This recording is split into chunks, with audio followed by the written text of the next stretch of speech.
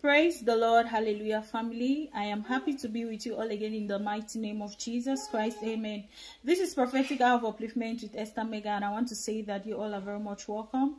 The Lord God bless you, the Lord God increase you. I love you all in Jesus' name. If you're new here, do not forget to like and subscribe in the mighty name of Jesus Christ.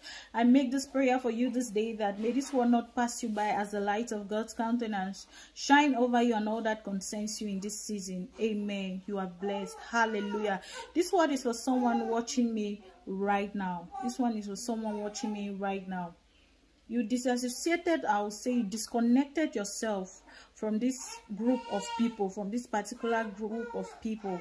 And this was the Lord intervening for you because you have been wondering why a lot of things about you keeps keeps changing. I will say keeps like taking a different direction because they seem like they are with you but they have never been with you. They give you an impression like they are with you but they have never been with you because they always they'll always try to advise you but their advice is not genuine from their heart. And where they were leading you with everything they were doing to you was not good. Hallelujah.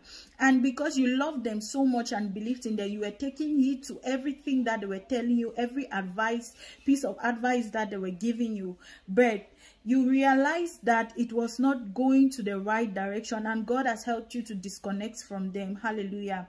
And this has this has this is i'll say it's it's it's a miracle. It's one of the biggest miracle that can ever happen to you. When you disassociate yourself or disconnect yourself from the wrong people it is not an easy task especially when you love them from a genuine place. Especially when you love them from a genuine place. And this is what they have been taking advantage of to to to to to to mislead you. Hallelujah. To mislead you giving the impression like they have been with you. They are taking advantage of it to mislead you taking advantage of the love you have for them for your genuineness. Hallelujah. I pray for someone that is connected here today and someone that is trusting god for a disconnect in a relationship that is not good enough, that does not make sense in the name of Jesus.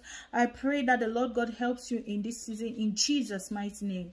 Amen. The Lord God bless you. The Lord God increase you. I love you all so very much and you all are special. Amen. Please do not forget to like and subscribe. God bless you.